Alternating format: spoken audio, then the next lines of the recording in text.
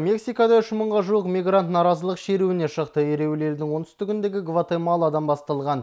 Түпкі межелері Мексика қаласы наразылыққа шыққандар биліктен мигранттарды мәжбүрлеп ұстайтын орталықтарды жоюды талап етіп отыр.